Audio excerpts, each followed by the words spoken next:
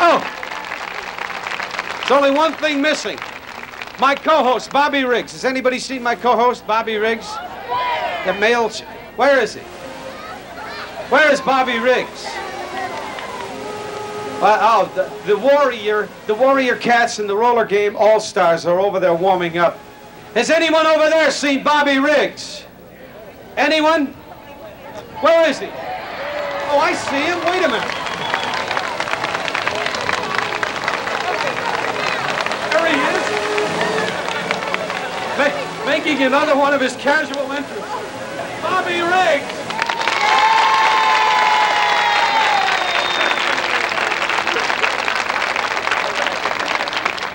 How long has it been, honestly, how long has it been since you've been on skates? I'd say about 50 years. Only a half a century. Oh, man. I was some skater, though, when I was six and seven years old. Uh, those girls are some skaters, aren't they? Hey, I'm going to have a lot of fun with these girls today. Let's fi- find out more about what they're doing. I don't know. Do you understand anything about roller roller derbies or Well, roller I saw games? a couple of them. Yeah, I know it's a rough sport. Well, let me bring in. We have a veteran announcer here, roller games announcer. His name is Ed Darian. Okay, where is Ed?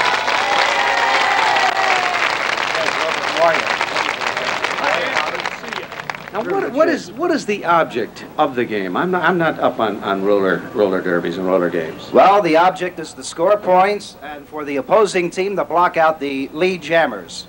Now, I said roller ga- roller games and roller derby. Is there a difference? What is the difference? Well, there is no more roller derby. It's basically roller games right now. Now, how do you call a jam? Can you can you give us an idea about that? Sure. Girls, Judy, referee Horace Daniels, Judy Arnold is Judy out there. Arnold out there? Yes, uh, yes, oh, she is. Judy Arnold is out there, ladies and gentlemen. Judy, come on over, will you? I want to talk with you. Here comes the famous Judy Arnold, ladies and gentlemen. Let's hear it for her. How are you, Judy?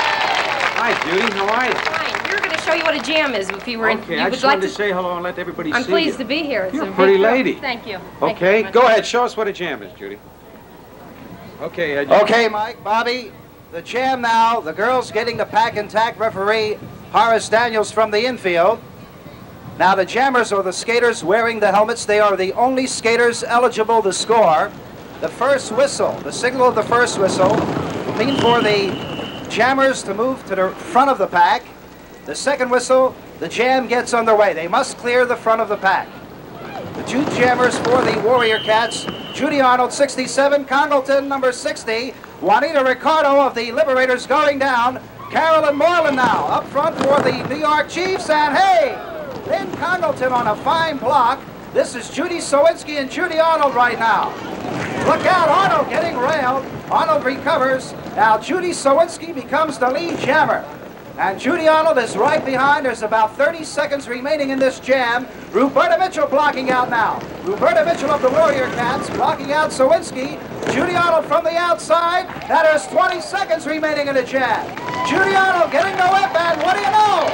Judy Arnold breaking the door wide open, and Judy trying to go all the way. Arnold now being blocked out by Wallen. Arnold now getting by Sandy Dunn of the New York Chiefs. Judy Arnold placing her hands on her hips, calling the play off. A total of six Warrior Cat points.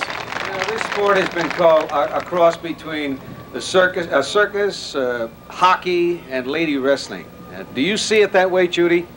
It's been called a cross between what I said, the circus, hockey, and lady wrestling. Now, how do you see it? I see it as a great sport that I love very much, and that I work very hard at, and that all the people who work in it work very hard. We do. We're out here to do a job. I'm tired. we're out here to do a job, entertain people, and we work our darndest at it. And I pray that we we do entertain the people. Oh, sure you do. They love you. You hear that applause you got a moment ago?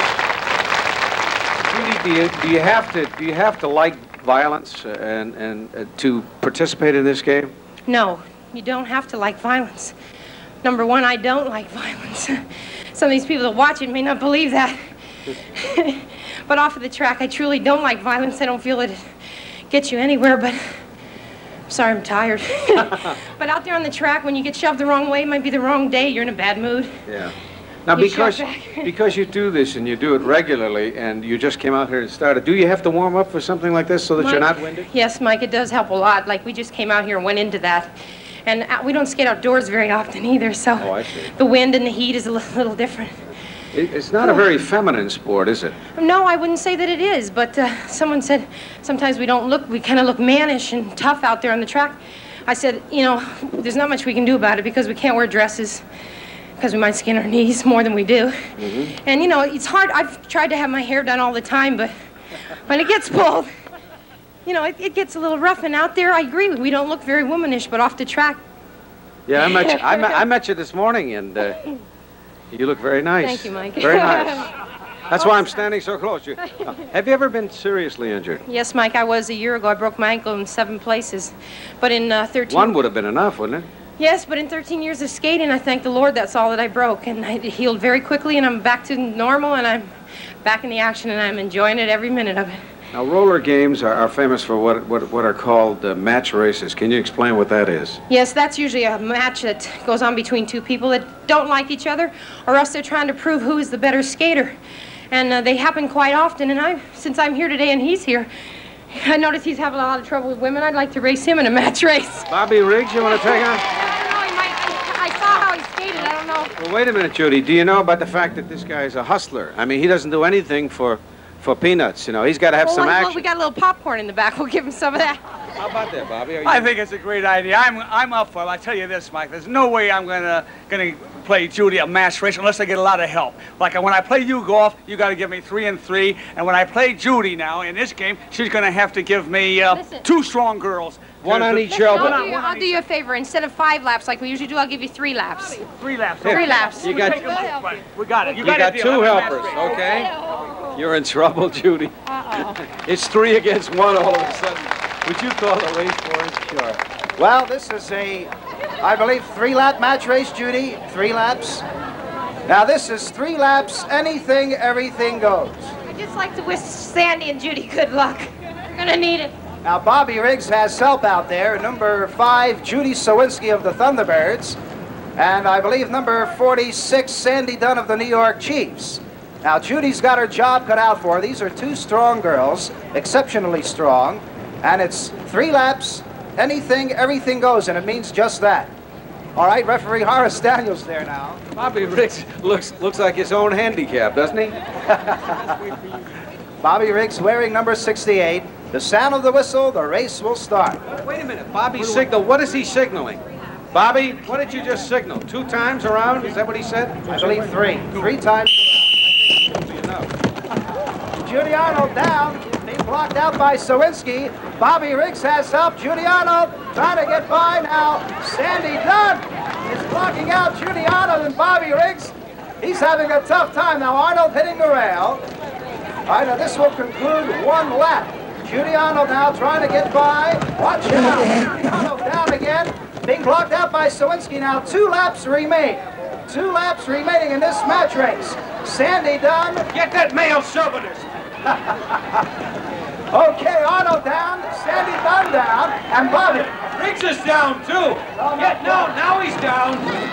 Judy Arnold trying to get by. And they've got Bobby Riggs.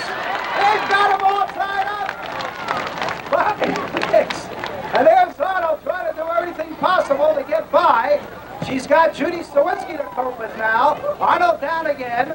Bobby Riggs so far in the lead. One lap remaining. One more time. One more time, Bobby. Okay, Judy Arnold, this is the final lap. This is it. Judy Arnold of the Warrior Cats being railed. Judy recovers now. Sandy Dunn of the New York Chiefs and Judy Sowinski of the Thunderbirds doing a masterful job. What an ending. Let's hear it. Bobby Riggs hit the deck. Down for a full count. We'll be right back. Thank you, Judy.